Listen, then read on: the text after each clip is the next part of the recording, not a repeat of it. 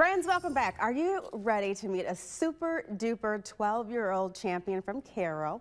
Voila, here she is. It's Errol. Errol, how are you? I'm good. Good. She is a disc golf champion. Oh my goodness. Congratulations on all your accomplishments. You have done so much. But you've got to tell us. So it was about three years ago. You had never really touched a frisbee or anything. But so like what got you excited about disc golf? Why disc golf? well, my dad played it like a lot before even I was born, so I just got curious about it. Oh wow. Okay, so what types of events have you been in?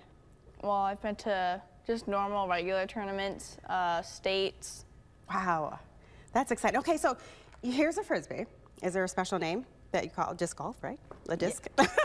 okay, so like, what do you do with it? How do you hold it? How do you, how do you throw? We're not going to actually throw it, of course, but like, how do you like? What's your form like? Well, I do the acceleration finger. Okay. You put your finger on the rim, and then there's sometimes a follow through. Oh, yeah. okay. So there is a lot of practice that goes into time. What's like a typical practice day for you? How, how long do you practice?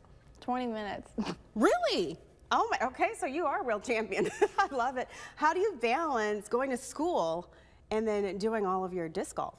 I have an online school and I have a good brain, so I do it pretty fast. Yeah, you're smart and you're athletic, so easy breezy, right? Yeah. Why do you think you're so passionate about this? What, what kind of motivates you?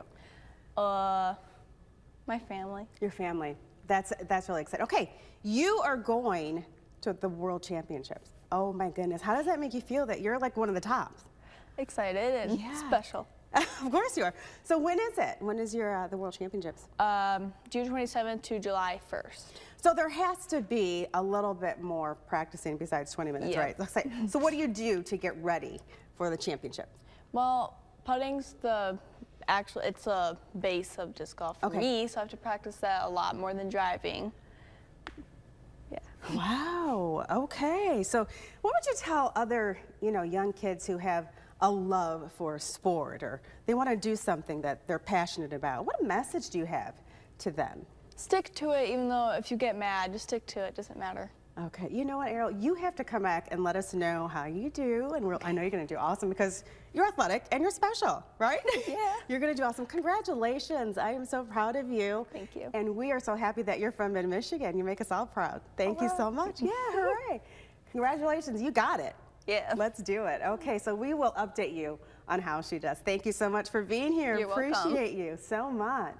If you have any ideas on what you would like to see on our show, you can send them to us at WNEM 4 p.m. news at WNEM.com. Just use the subject 4 p.m. News Spotlight.